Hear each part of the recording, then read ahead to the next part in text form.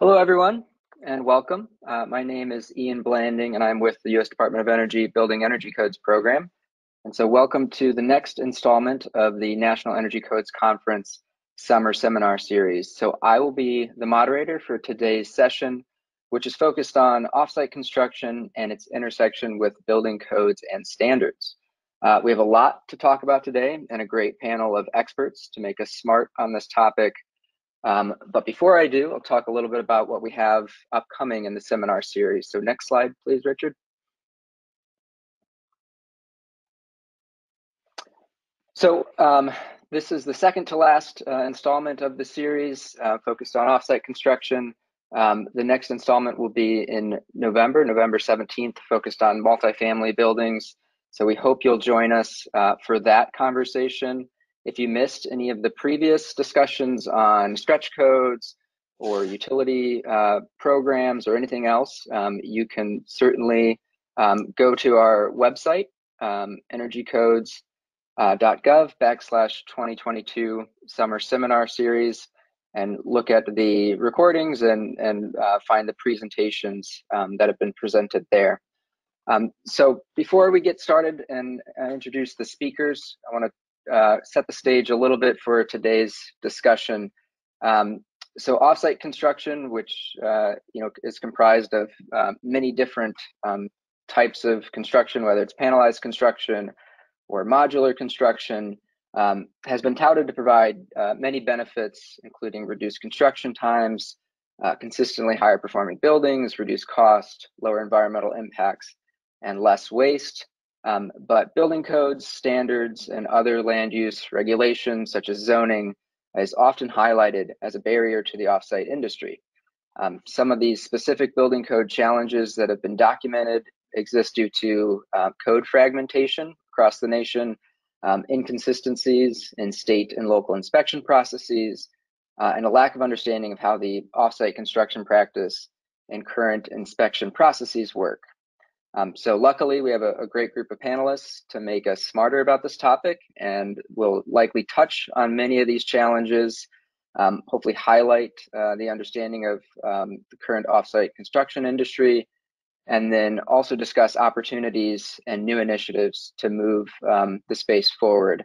So I'm joined by three offsite experts. Um, so Lucas Toffoli is a principal of RMI's carbon-free building uh, practice and also leads the Department of Energy's Advanced Building Construction Initiative. Uh, Ryan Colker is the VP of Innovation at ICC uh, and also leads the development of the new offsite construction standards, among many other things. And then Dr. Kevin Grosskopf is a professor at the Charles W. Durham School of Architectural Engineering and Construction at the University of Nebraska, and also the principal investigator on a DOE funded code compliance study on offsite buildings, which he will talk about today.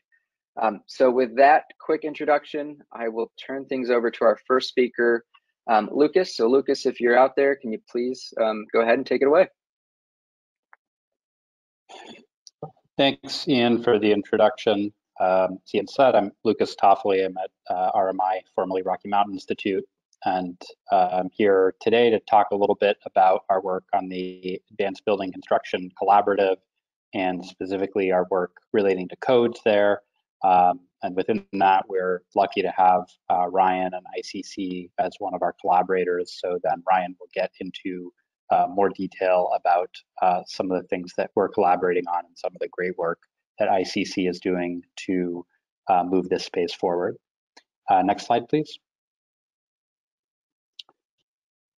So kind of take, taking a step back, um, our motivation at RMI, at the Carbon Free Buildings program at RMI, and also within the advanced building construction work uh, at, at, DOE uh, with the ABC initiative and this, this ABC collaborative is this kind of confluence of critical challenges that the building sector is facing. Um, you know, perhaps the most existential of all of them is climate change with um, you know huge disasters increasing in frequency and that has uh, kind of an important uh, element of codes to it because with codes making buildings more energy efficient we can reduce uh, greenhouse gas emissions but we can also make buildings uh, more resilient uh, to climate disasters uh, that unfortunately we're having to grapple with more and more. Uh, there's also a, a, deficit of millions of units of attainable housing that is placing a burden on families as well as the economy across the country. And uh, that's exacerbated by a kind of flat uh, labor productivity over the last several decades in the construction uh, industry as compared to uh, other sectors of the economy. Next slide, please. So our kind of goal here with the ABC Collaborative um, and, and really with the Carbon Free Buildings Program is to decarbonize the US building stock before 2050 while also improving other endpoints like resilience, affordability, and equity uh, in kind of an integrative way. Uh, next slide, please. And our hypothesis with advanced building construction specifically is that by modernizing the construction industry, uh, including with things like industrialized and offsite construction, and by using more holistic definitions of what quality and value are in buildings, including things like better performance and better resilience, we can accelerate the pace at which decarbonization strategies are adopted by the mainstream building sector, which so far has been quite slow. Uh, next slide, please. And our approach, what we call ABC or advanced building construction, uh, is really kind of the intersection of two things. And we work on both retrofit and new construction. Uh, and it's solutions that combine uh, energy efficient building decarbonization, which is critical both for the um, emissions and uh, uh, kind of climate elements, but also for having greater resilience in our building stock. Uh, and then this idea of scalable, streamlined, industrialized construction approaches. Uh, and it's really the, the mating of these two things because without modernizing construction, without industrializing construction, we can't really do this fast enough. And without this uh, focus on energy efficient decarbonization, uh, if we get better at industrialized construction without that, then we're just going to get better and faster at building uh, buildings that are not um, uh, high performing enough. Next slide, please.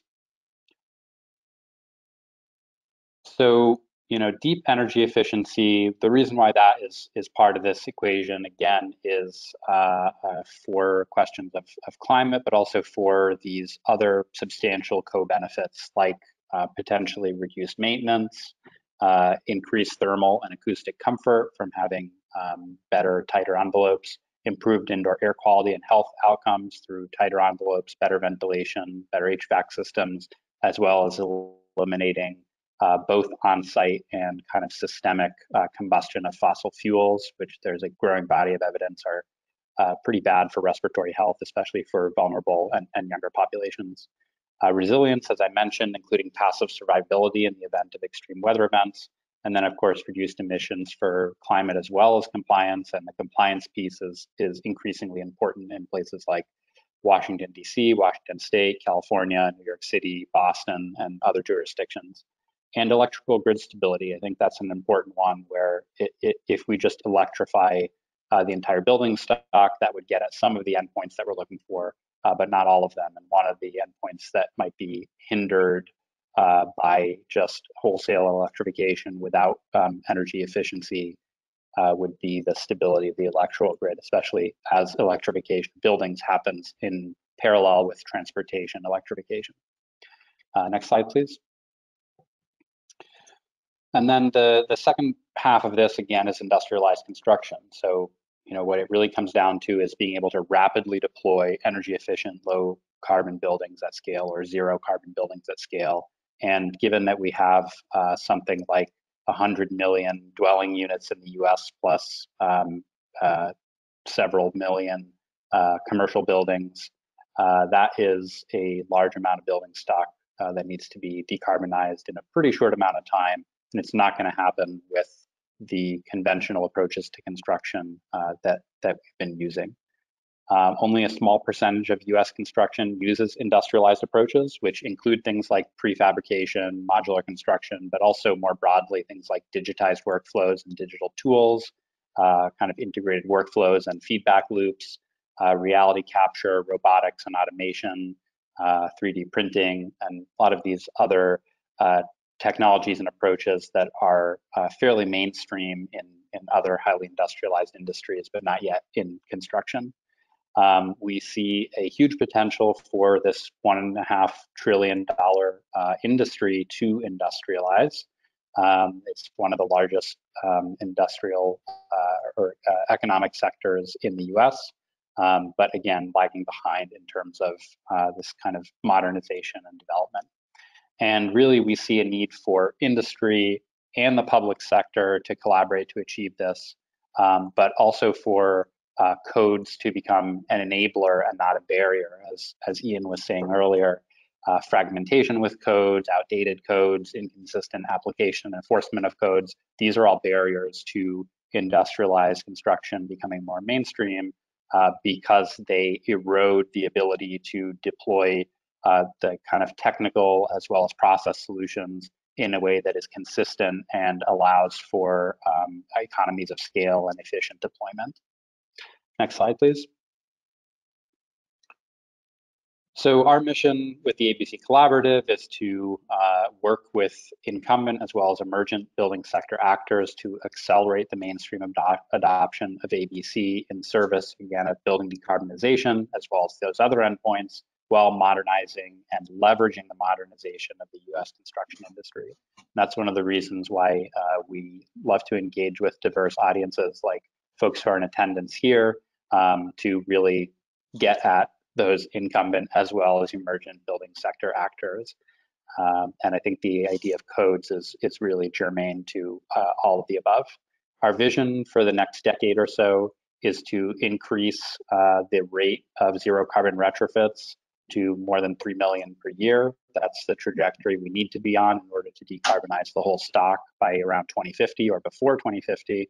Right now, that rate is, uh, you know, very, very small, uh, especially when you're looking only at net zero uh, carbon retrofits, um, and probably needs to increase something like 15x uh, or, or even more, depending on how specific you want to get. And all new construction also needs to be net zero carbon uh, by about 2030. Uh, in terms of technology, we don't think that's going to happen without uh, greater penetration of ABC um, technologies and approaches, particularly um, that industrialized construction. Uh, and there's also this element of delivery where we need um, business solutions, policy solutions, regulatory solutions, including uh, um, updates and evolution to code uh, in order to enable uh, this to happen. Next slide, please. So where where we work uh, with the collaborative is in these kind of five um, you know main areas that build up towards you know this this market scaling support, which is kind of a um, you know integrative set of support services that we're developing to facilitate the, the transacting of uh, actual ABC projects and pipelines of projects. But what's really fundamental to this is these foundational activities, and I'll talk a little bit more about those, uh, which is the convening that we do through our working groups and our thought leadership and education that we do through research and analysis. Uh, next slide, please. And uh, one of our working groups is specifically our, our codes working group, which again, um, Ryan and uh, ICC are our kind of industry subject matter expert leads uh, for that. Um, we also have uh, other topical working groups that are shown here, but in the codes working group, we've really focused on uh, how do we um, how do we use codes and and uh, you know permitting and inspection and accreditation as an enabler of industrialized and offsite construction in service of that decarbonization and those other positive endpoints. Uh, next slide, please. And um, in terms of thought leadership, we're doing a lot of research and analysis. Uh, a big piece that will be coming out uh, later this fall is this industry guidance report, which has more to do with um, uh, guidance on performance levels for new construction as well as retrofits and, and prioritizing different segments of the residential building stock. Uh, but one specific to code, a piece of thought leadership that we released recently earlier this summer was this uh, brief that came out of our codes working group that was uh, specifically about offsite construction codes, uh, which again, uh, Ryan will talk more about. And so that is an area where um, you know we see ourselves adding adding value to the conversation uh, by taking the things that we discuss and work on in these working groups and turning them into uh, some of these outputs, um, including in the area of codes like this working group brief. Uh, next slide, please. So just to close, we have um, a wide range of uh, organizations that are engaged with and collaborating with uh, the ABC Collaborative. Uh, some of them are here, although this slide now is out of date because we keep having uh, more folks uh, kind of flock to the cause, which is very exciting. Um, if you know uh, people on the line are, are interested in becoming more involved in the collaborative, please feel free to reach out to, to me or to the collaborative via our website. But what I really want to do now is leave time and space for uh, Ryan and others to talk more specifically about the work they're doing. And, and Ryan in particular, I know is going to talk about some of those offsite construction codes that have been uh, such a topic of focus for some of our collaborative activities. So thanks very much for the time. Uh, thanks, Ian. I'll, I'll, hand it back uh, to you and Ryan.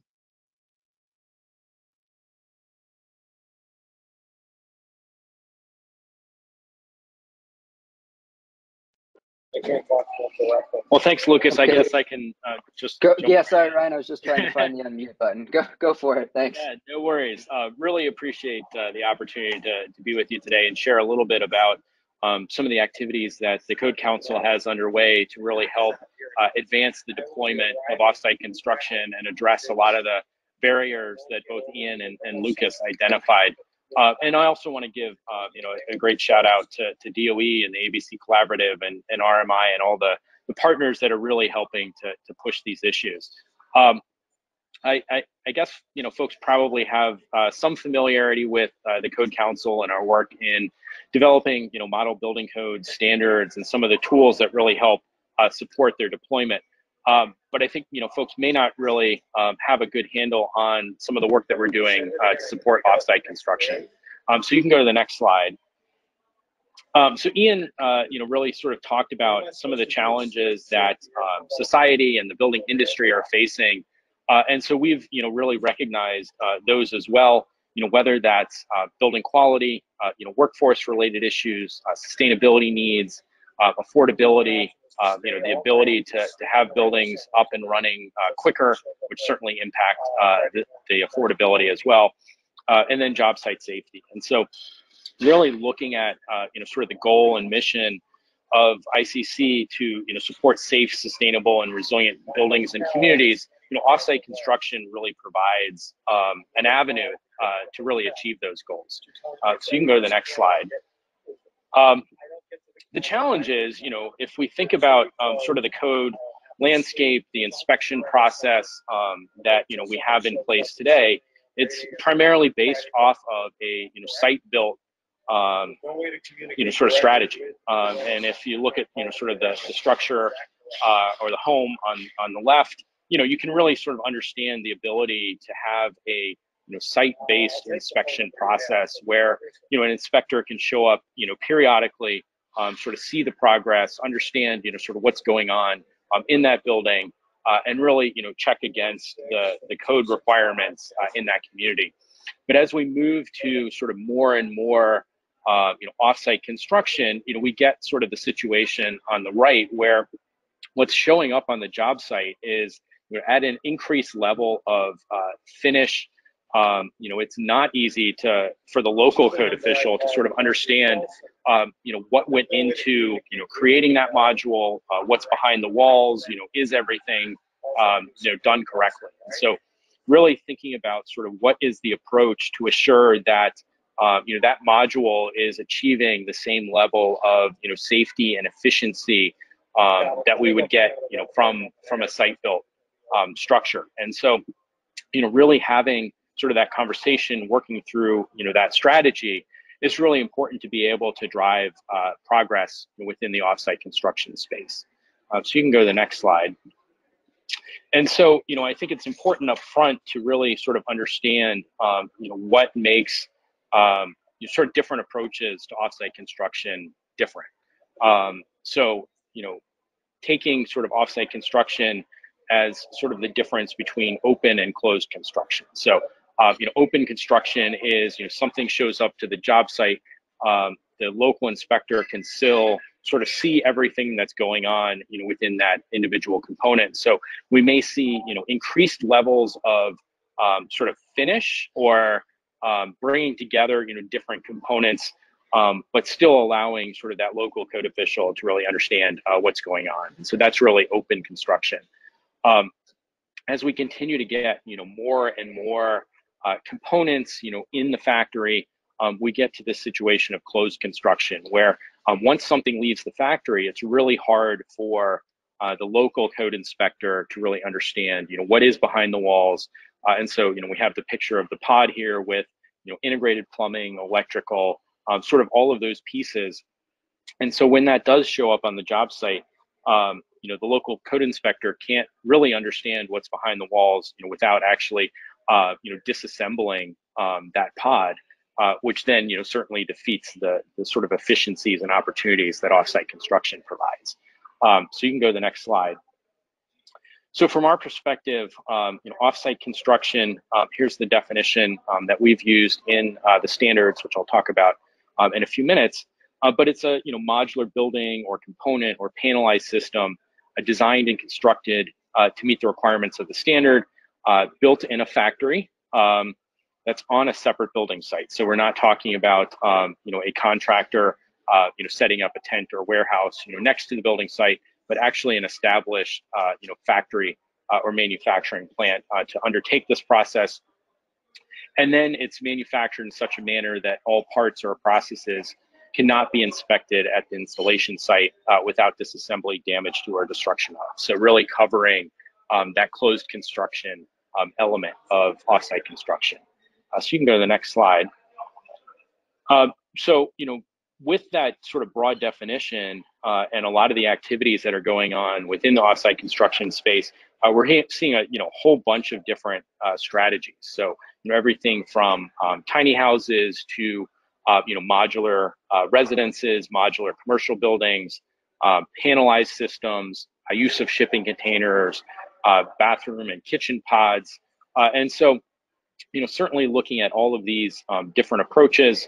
Um, again, thinking about sort of what is the regulatory approach um, necessary to uh, you know, assure that you know all of these pieces are delivering you know the the efficiency, uh, sustainability, uh, and resilience and safety that we really expect uh, you know from these buildings. Um, and I think the, really the sort of important key um, to all of this is you know all of these offsite construction projects uh, need to meet the same building code requirements as uh, as any other building in the jurisdiction where they're going to end up. Um, but the wrinkle there is, you know, these these uh, different components may actually be um, assembled uh, or fabricated in factories that are hundreds uh, or even thousands of miles away, you know, from their uh, final resting place. And so that's another sort of wrinkle um, in the process. Um, so you can go to the next slide. So we did want to capture um, sort of an idealized approach to support the regulatory process sort of recognizing a lot of those challenges, um, you know, that that I mentioned. So um, we have 35 states that have uh, statewide programs for offsite construction. Uh, so the state program is responsible for uh, the offsite construction elements of a project, and the local jurisdiction is then responsible for uh, the assembly uh, of that project, the site work, the foundation work. And really, you know, from a statewide level, uh, really relying on um, in-factory inspection, plan review, um, and and really focusing on you know those offsite construction uh, elements of a project, uh, and then you know where it's practical, uh, relying on third-party services who have expertise in this space. Um, you know, can be in those factories that may be again, you know, hundreds of miles away um, from the jurisdiction, and really being the eyes and the ears of um, the authorities having jurisdiction to assure that uh, you know what is going on in the factory ultimately ends up uh, you know in compliant buildings uh, you know where where they land. Uh, and so this is sort of the uh, the process um, that many states follow um, and that you know again supports sort of consistency um, in that process um, so you can go to the next slide and so, you know, I mentioned the the importance of um, plan review. So really understanding um, from a, a, design perspective, um, you know, all of the elements that go into uh, you know offsite construction uh, pieces of a building, having that upfront plan review, uh, not dissimilar to what you know many jurisdictions do uh, on the site built side. um, but really, you know, paying attention to the, the specific, you know, offsite construction elements. Uh, you can go to the next slide. And then, you know, certainly um, with all of the activity happening in the factory, um, the in-plant inspection process is really, you know, what's important. That's where you verify that, um, you know, the plumbing systems are, uh, you know, connected properly, the proper materials are being used, um, the, you know, uh, you know, any, uh, you know, sort of hiccups, you know, along the, the development, pro the construction process uh, are picked up, you know, in the factory. Uh, and so whatever comes off, uh, you know, the, the factory floor and is transported, you know, to the job site, uh, you know, meets the requirements of that local jurisdiction. I think one other important aspect um, to this process is the factory itself. And so you can go to the next slide.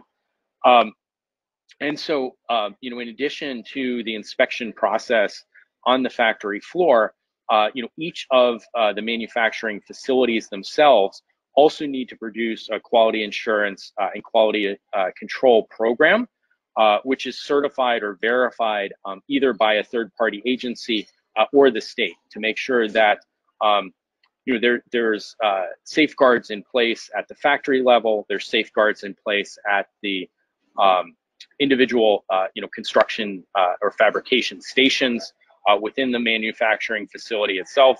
Uh, and so this diagram really sort of captures, you know, various different stages uh, that we would see in the manufacturing process uh, and the importance of inspection at each of these, uh, you know, different points uh, in the process. And so again, assuring that we have sort of this complete picture of, um, you know, what's coming out of the factory actually meets the local code requirements.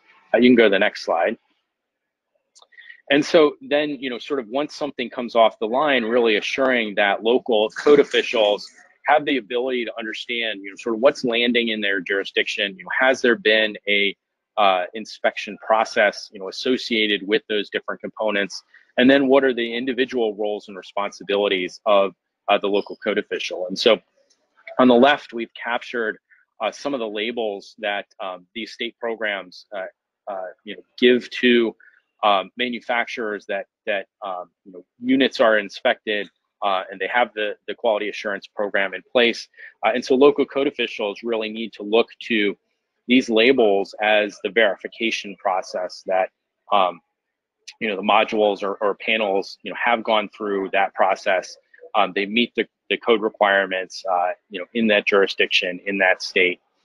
Um, and then being able to um, you know monitor the, the assembly uh, and site work, uh, you know, for those particular projects. Go to the next slide. Um, so I did mention the, the sort of uh, 35 uh, statewide programs uh, that uh, tackle offsite construction.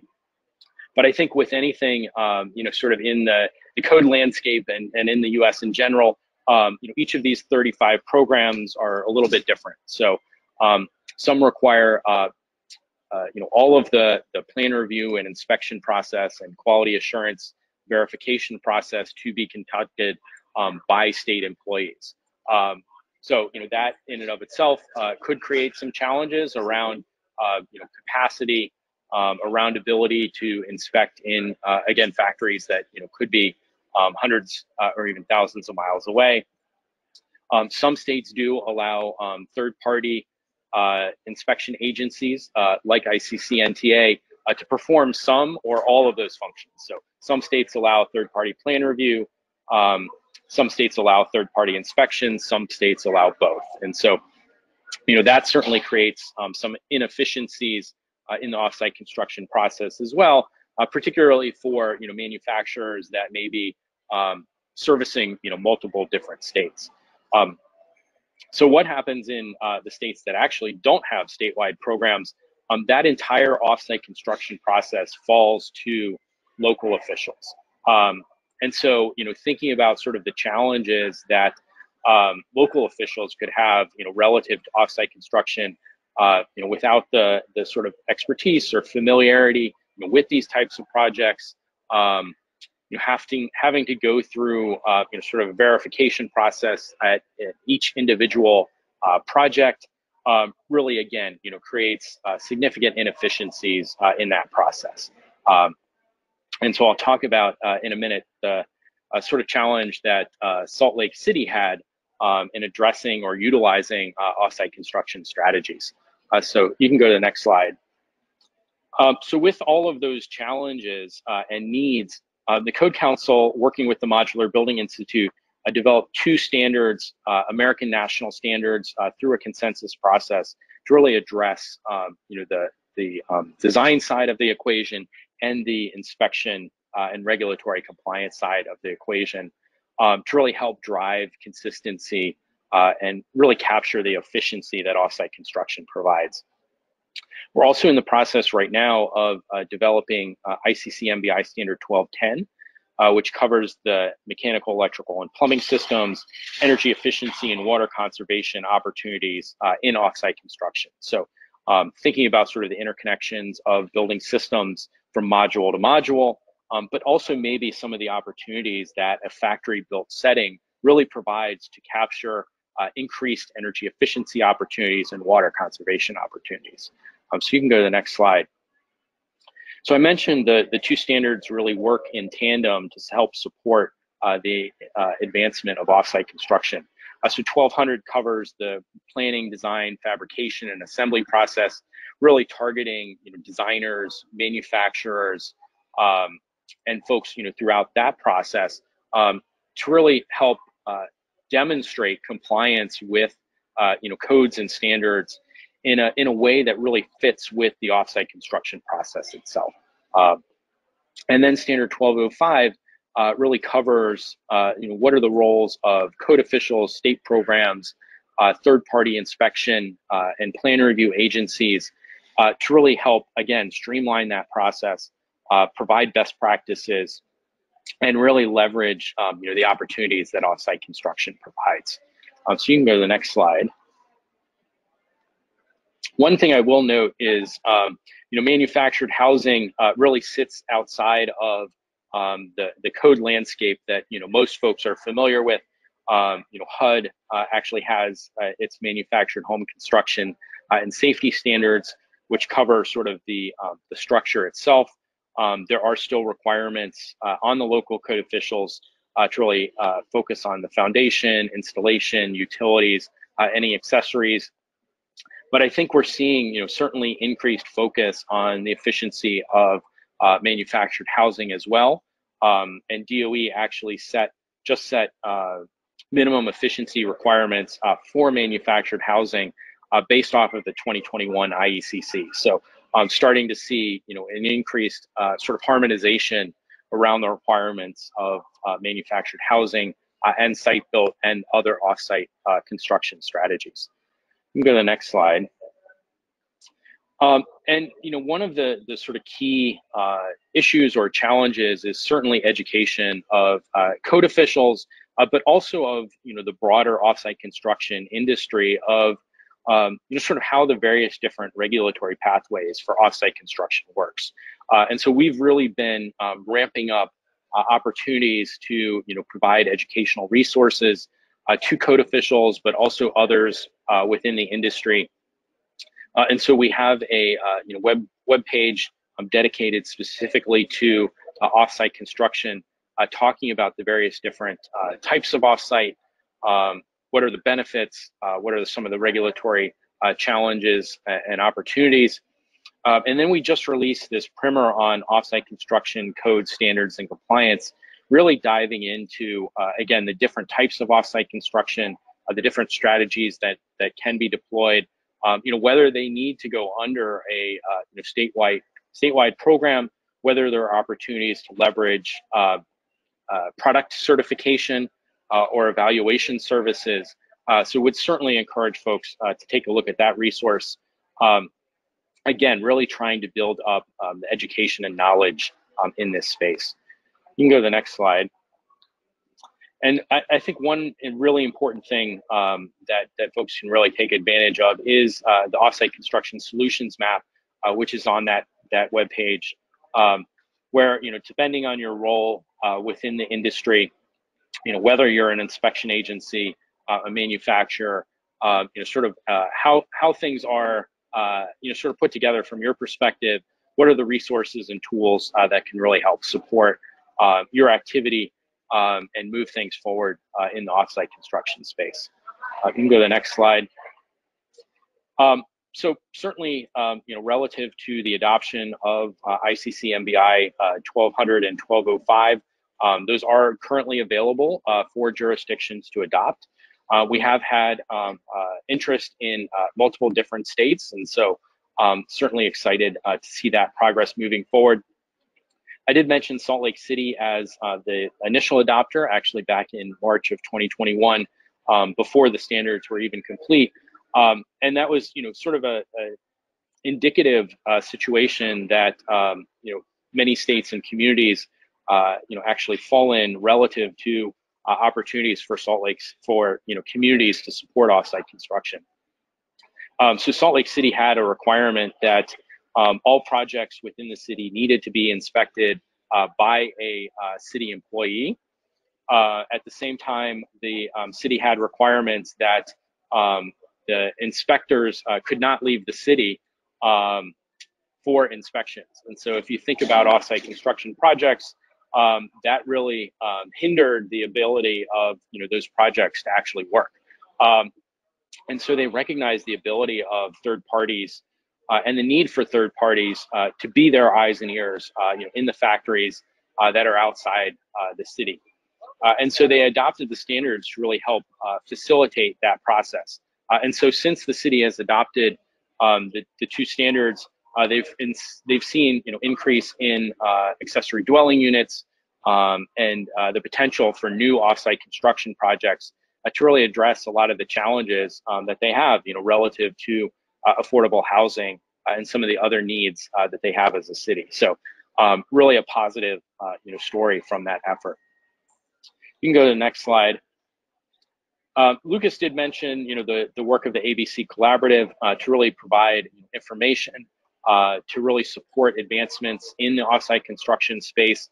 Uh, and there is this brief um, that the codes working group uh, put together uh, really to amplify the importance of uh, the standards in you know moving uh, you know communities towards you know greater acceptance and use of offsite construction and really the benefits that standardization you know provides to the industry.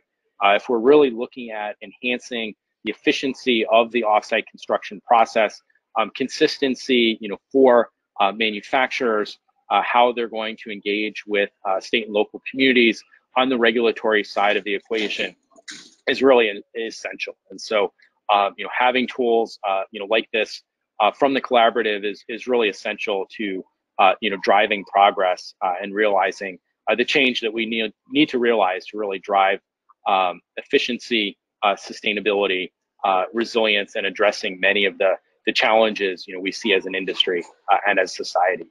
Uh, so you can go to the next slide. Um, always happy to talk about um, the, the work of the Code Council, including efforts around um, tiny houses. Uh, so we did put out uh, international tiny house provisions to capture many of the opportunities in the offsite construction space. and then you can go to the next slide always happy to talk to folks on uh, the various different resources. Uh, and you can go to the next slide. Um, and please do reach out with any questions uh, that you may have uh, about our work. So appreciate the opportunity and look forward to questions. Great. Thanks so much, Ryan. That was that was excellent. A lot of really good information. Um, so now we're going to switch gears and hear from uh, Kevin Grosskopf with the University of Nebraska about kind of how offsite construction is being implemented in the field uh, with respect to energy code compliance. So with that, Kevin, please take it away. Okay, great. Uh, can everybody hear me okay? I'll take that yep, as a yes. Loud and clear. All right, let's go on to the uh, to the next slide, please. Okay, so we were awarded a, um, a DOE project a few years ago looking at uh, two issues, one code compliance and one energy performance of modular versus site-built multifamily commercial construction. So these are buildings that are typically four stories or greater above grade plane, uh, multifamily use. So that basically was defined as more on the permanent side of things, condominiums, uh, apartments, things of that nature, as opposed to hotels, dorms, uh, so forth. Um, the, the nexus, or really the idea behind this project was to see if the what we suspected was a higher level of quality control in modular resulted in a higher performing building. We came into the study and it's since pretty much been verified that the materials and equipment systems aren't much different between multifamily site built and multifamily modular.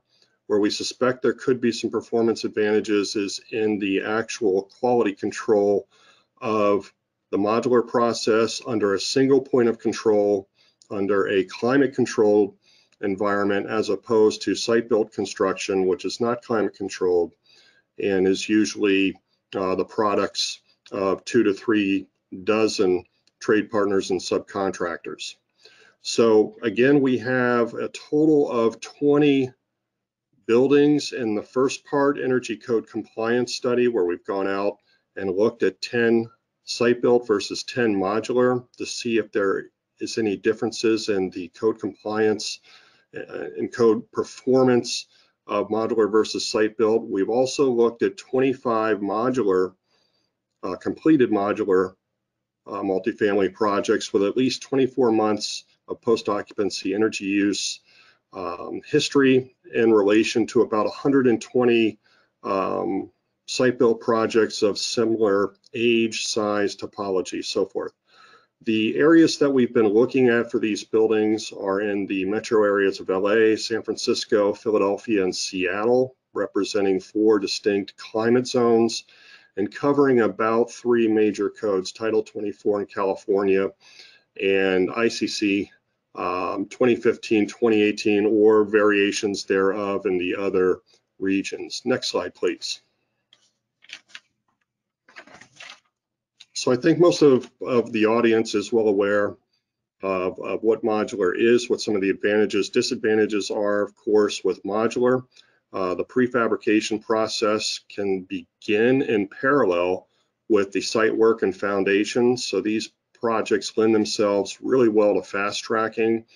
Uh, for schedule driven projects, uh, we can significantly reduce uh, the construction schedules, get clients into their income producing buildings sooner, uh, reduce construction loan, interest carry, things of that nature, reduce weather delays associated with a climate controlled fabrication environment, and improve product and safety again by having a single point of control as opposed to multiple trade partners or subcontractors. Uh, some of the trade-offs are added transportation cost, particularly with 3D modular, the, the adages that oftentimes we're shipping air. Uh, these boxes aren't terribly efficient to move, move long distances. Most uh, manufacturers have a, a radius of 500, usually no more than a thousand miles, and then the uh, transportation logistics starts to eat away at the benefits of modular. Uh, projects tend to be a little bit less adaptable I think most of these projects, uh, from what we've what we've seen, is they're brought in during the design phase as opposed to being brought in at the onset of the design phase. So there's some inefficiency in having to design around an existing design, uh, lack of standardization in the industry. The, the common phrase I hear is that every project is a snowflake, every project is different. Uh, perception of inferior quality and this goes back to the to the idea that if something is prefabricated, it might not have the same uh, quality or aesthetics that a that a site-built uh, project may have, particularly in the market rate sphere. Uh, next slide, please. Okay, so as been shown on some of the previous presentations, the offsite process is basically an assembly line process. Most of you are, are doing this or have seen this. Uh, so starting with the, the uh, substructure, the, the floor joist framing system, the systems build up from there uh, in an assembly line or workstation type environment. So the productivity is, is, is really profound because you have work crews that are very well trained in their specific task. And so these modules basically on rail systems will actually move through workstation to workstation from basic uh, framing components to the finished assembly. And these are usually somewhere in the neighborhood of about 80% complete before they are, are shipped out into the field. So again, this happens in parallel with the work that's being undertaken by the site general contractor, CM, for the site work and, and foundations. Now the site GC will typically come in at the end of the project when the modules are set and, and, and make all the MEP connections and finishes, usually which take place in the hallways and common areas uh, and any other remaining uh, punch list type work before the building is uh, receives its certificate of occupancy. Next slide, please. Okay, so as far as the data that we're collecting and when we're collecting it, you can see kind of a laundry list of things there on the left-hand side, some of the major energy players associated with the envelope, HVAC system, lighting, uh, domestic hot water. These items were basically uh, provided to us. There's about 40 items that we look for when we go out and do plan reviews and factory and field inspections. And so these were basically provided to us by PNNL on their uh, lost savings methodology, basically the, the energy uh, alternatives that are going to contribute most to energy performance of these buildings. And so there's a three-part process in the field study. We do plan review of the CDs, also the, the ComCheck or energy studies that go with those. Next step is a factory inspection. This is where we're looking mostly at envelope measures, things that are going to be concealed later on in the project um, construction. And then the third part of it is once the modules have been set on site, we're going back in and looking at the near finished project just before occupancy where we're going to verify from the plans that um, the same equipment or comparable equipment has been set, lighting, fixtures, so forth and so on. Next slide, please. So at the end of the day, this gives us a bit of a snapshot of where we are. This project is still ongoing. But if you look at the, the number of, of projects uh, and, and how they compare in climate zone three and in climate zone four. So climate zone three, this would be our LA and San Francisco um, markets. Climate zone four, this would be our, our Seattle and Philadelphia. Uh, on average, these projects are in the 150,000 square foot range, um, six to seven stories in height. Uh, some of them are quite large, some of them exceed more than a half million square feet, some of them are small. So we've got a bit of a cross section within that of different types of, of multifamily commercial. Again, all of these are commercial coded um, projects um, that are inspected in the factory uh, under state jurisdiction, usually by a third party, because quite often these modules are fabricated out of the state. So approved third party inspectors in places like Idaho, uh, so forth that inspect these units. And then once these units are approved, they can then be installed anywhere within that state jurisdiction without any additional uh, local jurisdiction or, or, or code requirements. And so looking at, at, at the modular versus the site built, uh, the numbers seem to favor, particularly in climate zone three, the um, energy performance, at least from a, a plan review and, and field inspection um, of these elements, uh, slightly better energy performance for the modular as opposed to the site built. Climate zone four, that's a little bit more balanced, more even. But at the end of the day, we've really not seen a huge difference between uh, the energy, the code compliance of the modular versus the site built. Next slide, please. Okay, again, the other part of the project is to take a look at, at, at, at modular and site built from a post-occupancy standpoint and, and sequestering the energy uh, records, benchmarking data available on these buildings. Fortunately, every one of these jurisdictions now requires benchmarking of projects of a certain size and commercial designation. So we were fortunate enough to get the Energy Star benchmarking data on a number of these buildings. We'll have 25 in total modular to compare versus somewhere north of 150 um, site-built buildings of similar size, age, topology, so forth and so on in the same climate zones. Next slide, please. And so at the end of the day, the, the how this is shaking out so far with the 14 uh, projects that we've collected information on at this point, if you look down at the bottom in the shaded columns, the site uh, EUI, which is energy use intensity, usually in kBTU per square foot per year. Okay. Uh, the modular is not too terribly uh, different than the site build. In fact, the site build is slightly better in terms of energy use intensity than the modular, but you have to dig into this a little bit further. Most of the modular are affordable, smaller units, as opposed to the site builds are more in the market uh, rate uh, spectrum. And so the modular units typically are smaller and the occupant density on these modular projects are higher. So when we account for that, if you look at, the things of that nature in terms of occupant density and other factors, actually the Energy Star scoring of the modular is quite a bit higher than the site built. Next slide, please. Okay. Yeah, so again, as, as I mentioned, the modular buildings typically have about a 50% greater uh, occupant density and almost nearly the same energy use intensity as their site-built contemporaries. Next slide, please. Okay, on the home stretch here, it looks like something happened to our, our table there, but I'll try to walk you through that. Um, additionally, we did some blower door testing on modular versus site-built.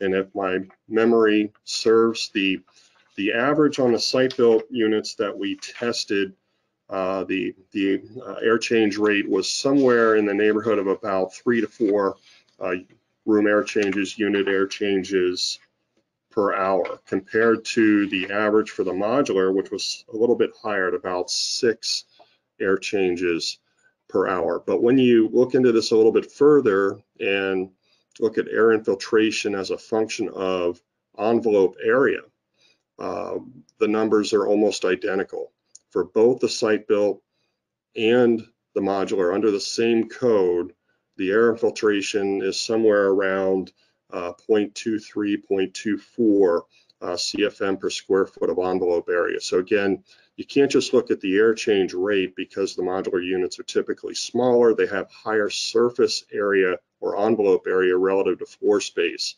So when you normalize for that difference, then the air infiltration rate for the modular uh, comes out about equal to the site built. Now we have noticed for some of the modular projects a bit of rework, you know, some relocation of condensate piping, things of that nature uh, in the field that may have contributed to a significantly higher uh, air infiltration rate around some of the HVAC cabinets and things of that nature. And a lot of the site built, we see a lot of mini split systems and some of the modular, we see a lot of through wall uh, PTAC, PTHP systems, which are inherently more um, leaky than the split systems that we see in the site build.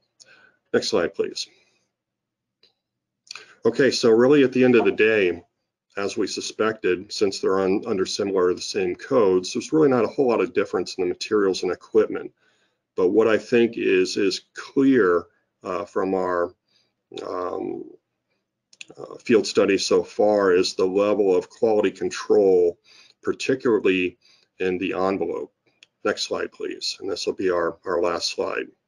So if you look at the top row of pictures here, and you can pretty well go into any uh, modular manufacturing facility and see this. You see just a very, very high degree of envelope uh, quality control from the insulation coverage um, the vapor barrier, the taping, flashing around, uh, penetrations, it is just significantly higher and it's in a climate controlled environment. So we're not taping Tyvek when it's, you know, 10 degrees outside and, and or when it's raining.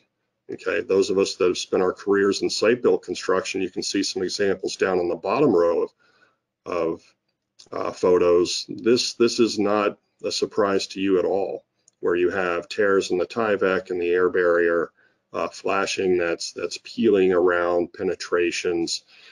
And why? Because you know the quality control aspect with having multiple contractors, trade partners doing this under austere weather conditions um, lends itself to um, a less efficient envelope.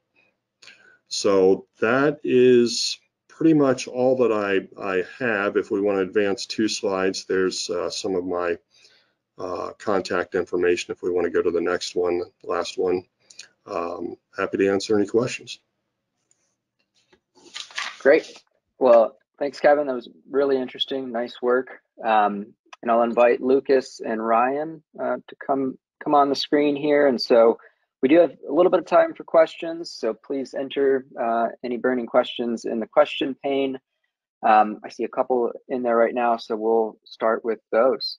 Um, so this is a question for Lucas. Um, what additional training slash upskilling would be needed to help the current construction workforce participate in uh, industrialized construction and it's a two-part question. So that was the first. And then what strategies to manage displacement would you recommend?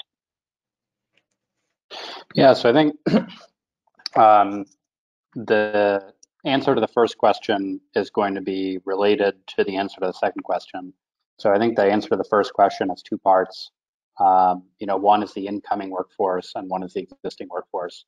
And for the incoming workforce, uh, I mean, I think the reality is right now we have a substantial shortage of construction, um, you know, kind of a pipeline of construction labor and an aging out of the existing workforce. So in my mind, there are a couple of priorities. Uh, one is is kind of starting pretty early uh, in in kind of the you know school um, uh, uh process. You know, going into at, at least going into high schools to try to convey the um, opportunities in construction, um, you know, for for good jobs, well-paying jobs, and also for evolution of jobs. And then emphasizing on that last point um, that construction jobs are increasingly, you know, technological jobs, and that they are not always about, you know, swinging a hammer in the rain, uh, but they can, you know, they can be around, um, you know, kind of di digital tools. They can be in controlled factory environments, uh, to the points Kevin was making. Um, and that means they may be more appealing to a broader set of potential workers. Uh, and they also may be accessible to people who were, uh, you know, for kind of physical or, or social reasons, um, uh, you know, largely or completely excluded from the construction workforce, um, including, you know, folks like like who may, who may have physical, you know, limitations. Um, uh, so, you know, the second the second question about displacement, um, you know, to me, the reality is that it's it's kind of yes and it's not doing industrialized construction so that we can, you know, do it all without having workers. It's doing industrialized construction because all of the work that needs to be done, both to fill the housing gap with efficient buildings and to do all the retrofit work that needs to be done, which is frankly a whole other construction industry that doesn't exist yet, is going to need to happen uh, both with at least the same number of workers and probably significantly more, and with the benefit of industrialization and better productivity that comes from that. So in my mind, um, you know, the the the displacement there there are enough you know jobs for um, you know for ex- the existing workforce and and for a lot more. Um, and it's, you know, it's more of a question of for those folks in the existing workforce who aren't aging out, um, whether they want to stay more in on-site jobs. There is still going to need be a lot of need for on-site work, even if if there's more prefabrication, uh, or whether they're interested in moving to um, to factory-based jobs, uh, or you know other kind of industrialized jobs.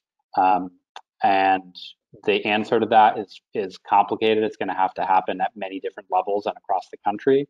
Um, I can't say that I have the answer to it, but I can say that we're working on some, uh, you know, research and and kind of engagement with industry to understand, at least to better understand what are the right questions to ask, um, and you know what are some of the the potential problems that need to be addressed or challenges that need to be addressed more more thoughtfully.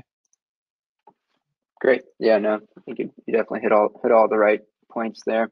Um, so this is a question um, that it might be uh, best suited for Kevin, but I think anybody can really answer this.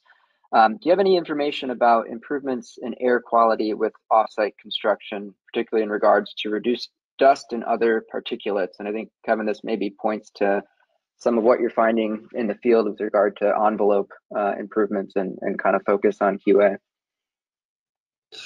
Yeah, I think one of the major areas is in moisture control. You know, a site built project is exposed to moisture uh, intrusion until it's dried in, and even after it's dried in, there can be issues. Whereas uh, the offsite product that's uh, manufactured under roof in a climate controlled environment, um, it's much less subjected to to uh, moisture issues and mold and other types of asthma triggers than are um, a lot of the site built um, projects. So I'll, I'll let it go at that if any of the other speakers want to comment on that, or I can elaborate if you'd like. Okay. Um, no, I think that's uh, that's good. So I, just for the sake of time, we'll try to get to a couple more questions here. Um, so it's questions for Ryan. Um, so what is so kind of if I'm a state or jurisdiction, what is the number one thing, um, number one takeaway uh, that that I can do to help streamline building code implementation in offsite construction, or at least to help um, you know avoid some of the the challenges and um, you know misinformation or or uh, kind of lack of knowledge that's out there. Yeah, so I'll I'll I'll cheat and give you maybe two. Um, okay, perfect. One, one, one is I think you know certainly updating um, your codes you know to uh, more recent editions. So we've seen you know a lot of the sort of industrialized construction processes, like sh- use of shipping containers and those sorts of things, find their way into the newest codes. So I think that's you know certainly one piece of it. I think the second piece is you know looking to um, the practices that are contained you know, within standards 1200 and 1205 uh, to really support efficient processes. So, um, you know, some states already have programs that that largely mirror the standards, um, but certainly uh, many have opportunities to um, know, advance their programs through some of the criteria uh, that that are within those standards. So I think looking to adopt those standards uh, would be a great way to do that as well. Great. Um, so I will kind of end things with one final question for all um, panelists here. And it's a kind of a, a fun forward looking one. Um, so looking in your crystal ball, where do you see the construction industry uh, in 10 years? So whoever wants to, to kick things off.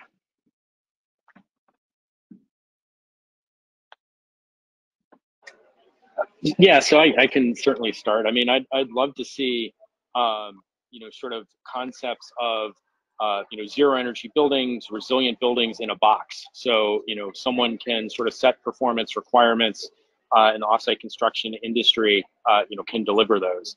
Uh, and I think there's probably a few different things that, you know, lead up to that, um, including, you know, education uh, and training of code officials and the broader construction workforce. But um, I think that would be a, you know, great solution and you know fill a lot of the needs uh, you know that we have as a society.